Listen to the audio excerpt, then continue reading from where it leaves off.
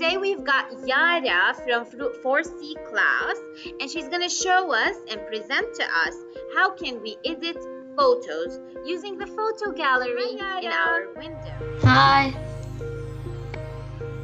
You can start, Yara. You can present to us. Uh, okay, so first thing of all, you go to uh, any uh, website. Like I went to internet, and I chose a sunset uh, photo. So then I clicked. So then I just right clicked, and I wrote a save uh, where you saved it. And then before you do that, don't directly click on it. You need to right click like that and you need to write edit with photos. Yes.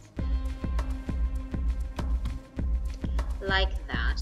Right click. So now um, I'm gonna now rotate it and I can flip it. I'll re-rotate it and I did it on the right side.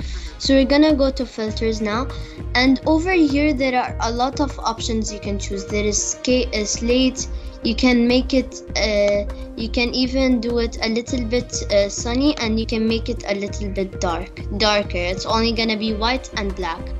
So after that, you, I'm gonna choose um, road over here and just make it a little bit. Then I'm gonna go to adjustments.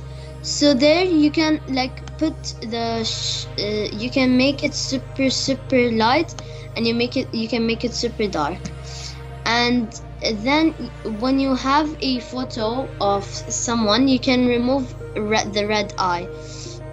So after that you there's two options save and there's save a copy it's much better to choose save a copy Thank and you. now we saved a copy. Thank you so much, Yara, for this wonderful explanation. It's beautiful and you deserve a very big clap. Thank you so much, Yara. Thank you everybody for watching and I hope you like this video. Bye. Bye. Edit with photos. Yes. Yalla, Maryam, do you want, I will make you a presenter and you should explain to us. Are you ready? Maryam, please share. Okay. Uh, so can you see? Yes, we can see. Okay, I'm going, uh, I'm going to get a photo from Google.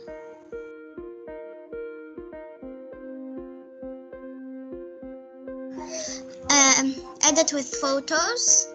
Going to press on it.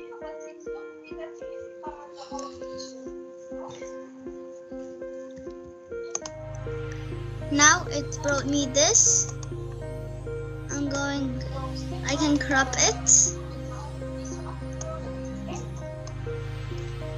and I can filter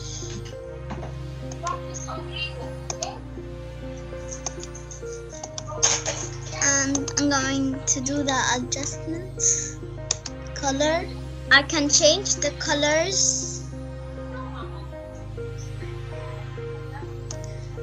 And the warmth can make it blue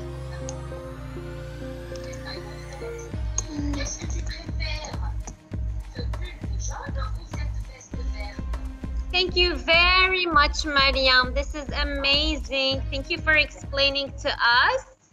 Please like this video and subscribe to Computer Ideas for Kids.